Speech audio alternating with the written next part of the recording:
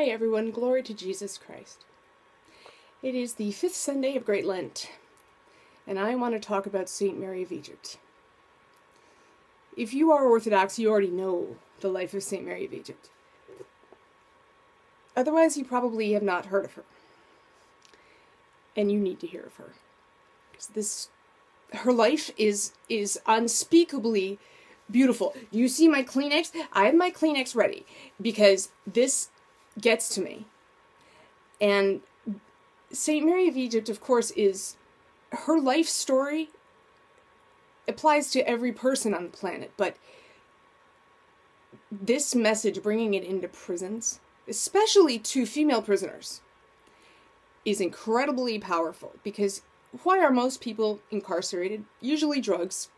How do women often pay for drugs? Prostitution. St. Mary of Egypt was a prostitute. Let's talk about that.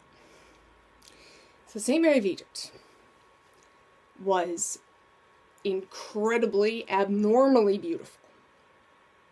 She lived in the 6th century, by the way. Abnormal beauty. Just, I mean, head turner, right? And she liked men. She's called a prostitute because that's how she referred to herself. But she didn't actually make money that way. She made money by begging in the streets, but her pastime was men. And after living this kind of profligate lifestyle for many years, she decided to catch a, a boat to Jerusalem and she was going to go see all of the, the men that were on pilgrimage there because it was a feast of the Holy Cross, and they had uh, all or part, I'm not sure, of the true cross, of the cross of Christ in this church in Jerusalem. And she she thought, look, there's going to be thousands of people that are going in there. I'm going to get lucky. So she got on the boat. Of course, I'm sure she wreaked havoc on the boat too. Got off and tried to go into the church. Okay. Couldn't do it. It was like there was some kind of invisible force field or something. Everyone else around her was going in. She couldn't physically do it, so she was like, oh my goodness, what is this? So she tried it again. Didn't work. Tried it a third time and still no go. So then she looked over, and by this point, she was she had tears streaming down her face. She was scared, but she was also very, very touched because she understood at that point that there was a reality that she could not see and that that reality was not letting her go in the church. So she goes over to this icon of the Virgin Mary, the Theotokos, which was on the porch of the church. So evidently she was allowed to be on the porch, but she couldn't actually go into the uh you know, the body of the church. Okay, so she goes over to the icon of the Virgin. And with tears in her eyes, she says, If you're really up there, What's going on? Why can't I go in the church? And can you please allow me to go in the church? So, of course, the Virgin answered her in her heart, said, That's right, I'm not letting you in the church because I know exactly what your deal is. You're going in there to try and pick up guys, and that's wrong. So, if you want to save your soul, I will allow you then to go into the church. But you need to go to confession, you need to go to Holy Communion. Okay? And then St. Mary said, All right, and then I'm going to come back right back out and, oh Mother of God, then please tell me what I need to do in order to save my soul or to have my soul saved. Okay. So she went in. I'm assuming this took several hours because she had to go, venerate the cross, confession, Holy Communion, probably a lot of time in, in other prayers as well. Came back out, and the Virgin said, All right, Mary, go across the Jordan, the River Jordan. Go across the Jordan. And that's where you're going to live. And you are going to wrestle with God's help with your sins and your passions and all of that spiritual dirt. But take courage that if you persevere, God will save you, your soul. And so St. Mary believed her and crossed the river. Not a second thought. No second opinion necessary. She just crossed the river. And she lived there for 47 years. Yes, 47 years. And for the first, oh, I think it was 17 years, she was tormented by, in her own words, wild beasts day and night. But she didn't mean animals in the desert, she meant her sins and her passions. So, after she had been in the desert for about 47 years, she met a man named Father Zosima. Now, Father Zosima was an Orthodox priest, he was a monk.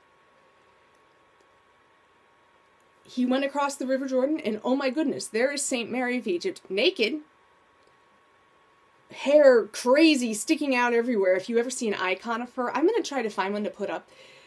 She's one, she kind of looks like St. John the Baptist in icons, you know, very unkempt. Hair is, you know, throwing a disco on top of her head, and she has, you know, ratty clothes, really not not any clothes at all, except maybe like a wrap or something.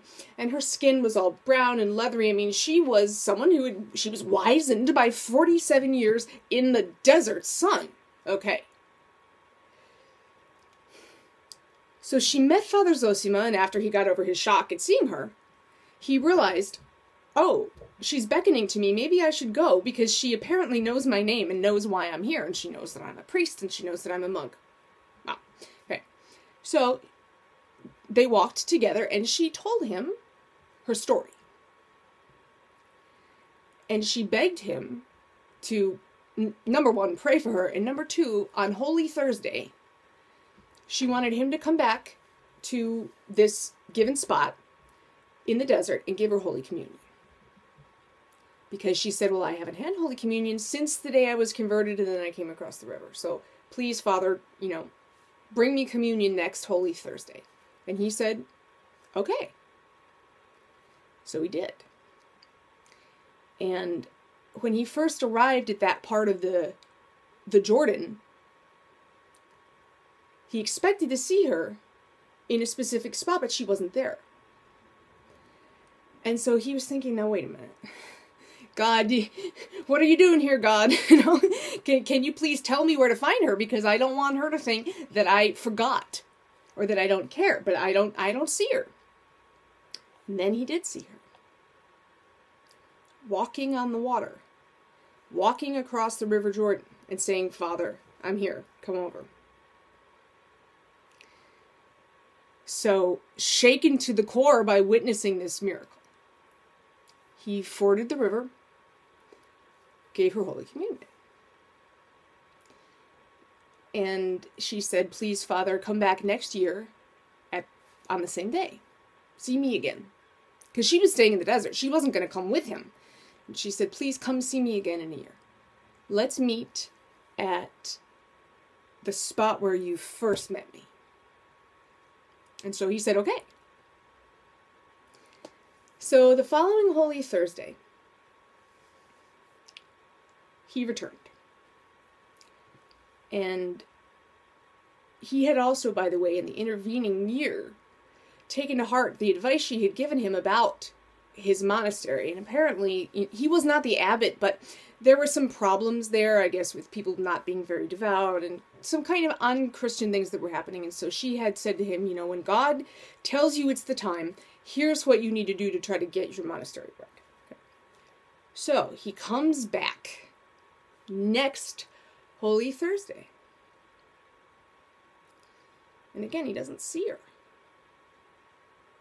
So he prays to God, and then he looks and he sees her dead on the ground, face pointed toward the east, with in the dirt around her head was written, let me see if I can find it here. This is the part that always makes me lose it. Okay. Where is it, Daria? Here it is. Sorry. Traced in the ground by her head, Abba Zosima bury on this spot the body of humble Mary.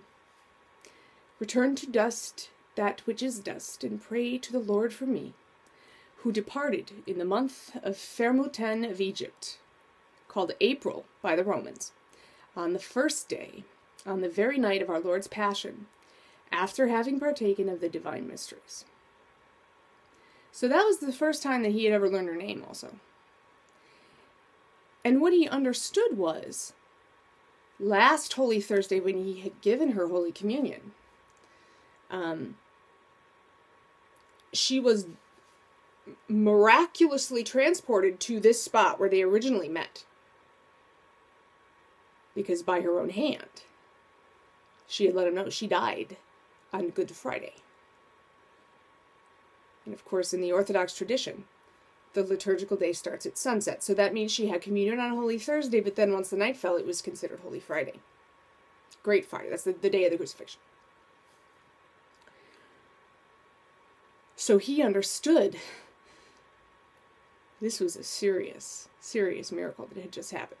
Number one, actually, well, I'll finish the story first. Sorry, I get ahead of myself. I get so excited about this. So, so he's thinking, Lord, must I bury the body of the saint by myself? I'm an old man. I don't have any digging tools. The ground is hard. It's very dry. Help. And then a lion came along. Lions don't normally live by the River Jordan, okay? Comes a lion. And so now Father Zosima is like, oh my goodness, I'm, I'm dead. But no, the lion came and licked the saint's feet, Saint Mary. And then it started to dig her grave. And then Zosima came and he had found a like a broken board or something to use as a shovel. So he and this lion dug the grave together. He buried her body, he prayed over it, of course, and then returned to his monastery. Do you understand? Here is a woman